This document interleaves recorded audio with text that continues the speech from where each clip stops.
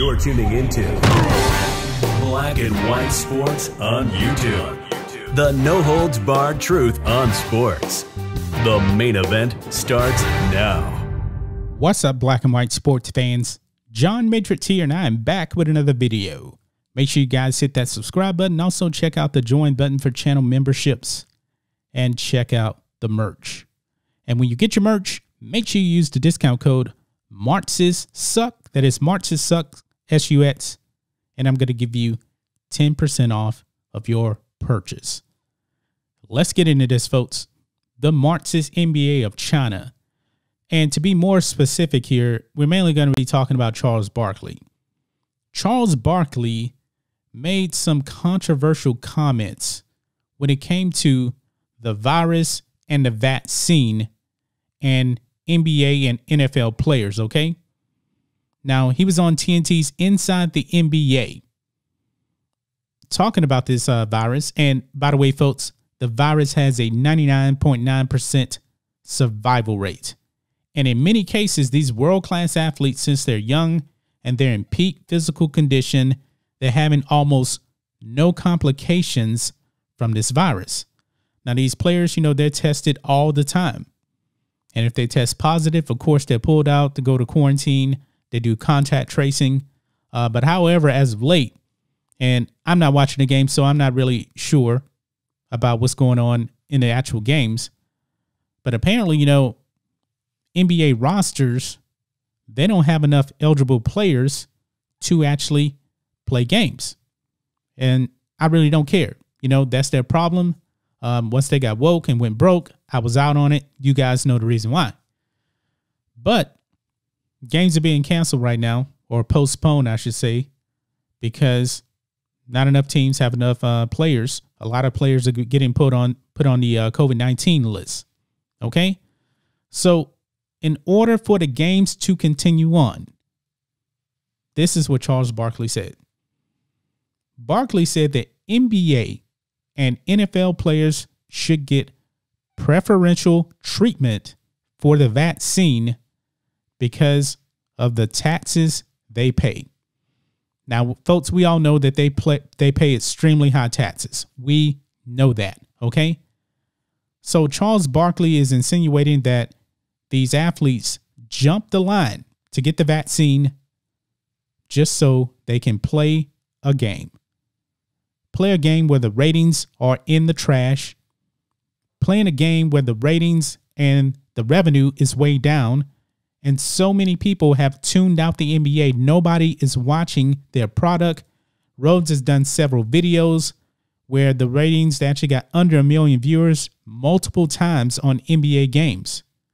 Even the NFL, their ratings are down also. But you want these world class athletes to take a vaccine before other people that actually do need it just because they pay higher taxes?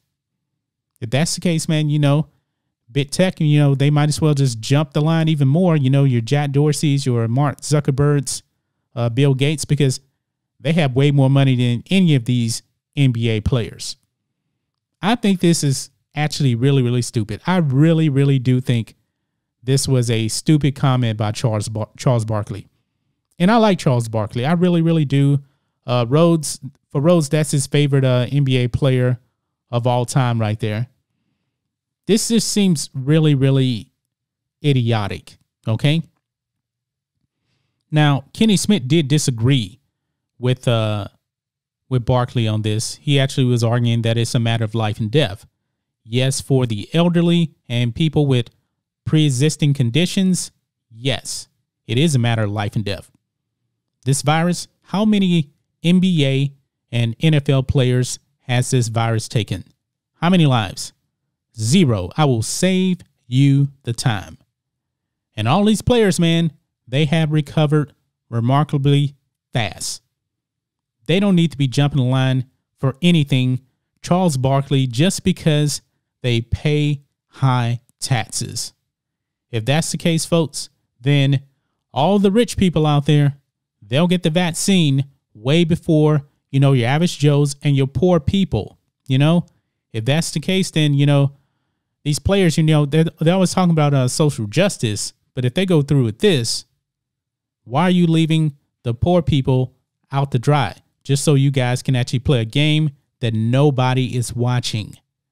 I really, really do disagree with Charles Barkley's take on this. This really does not make any sense.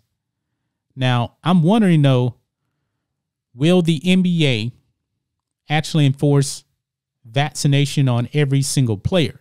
Now, Adam Silver, he's not going to go, at least he said he's not going to go for what uh, Charles Barkley said, because he said uh, a few months ago that the NBA would not jump the line.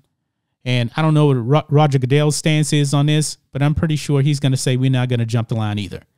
If the NFL and NBA players are given a vaccine before, or, you know, bump them up the line before a whole bunch of other people, the public is going to destroy these leads. They are. The ratings already on decline for both leagues, man. They won't have a league if news gets out that NBA and NFL players took the vaccine just because they pay high taxes, it's not going to fly. I can't believe Charles Barkley even said this. There's no way in the world.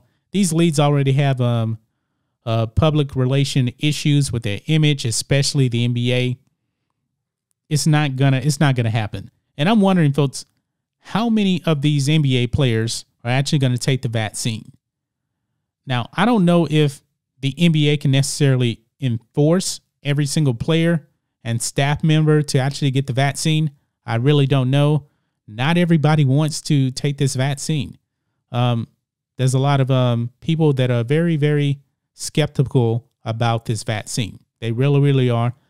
I'm not a doctor. I'm not telling you what to do. You do what you want to do. I'm going to do what I want to also.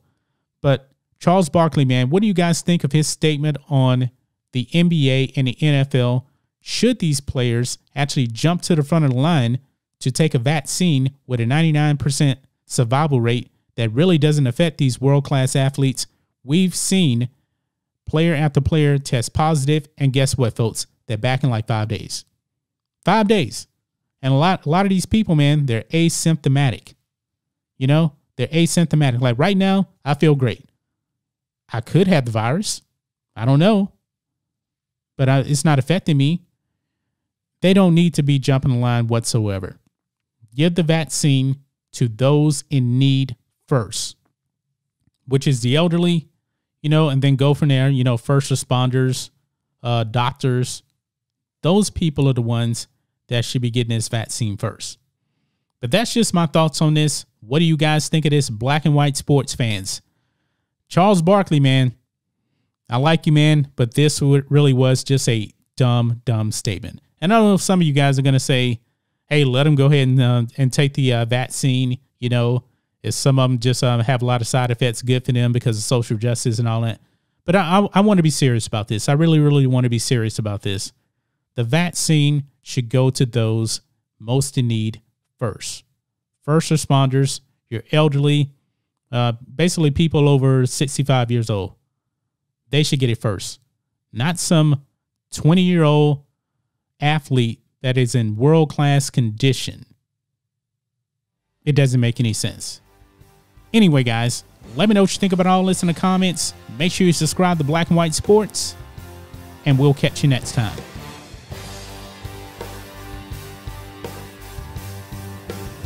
Thanks for watching the show. Be sure to like, comment, and subscribe. Be sure to tune in next time on Black and White Sports.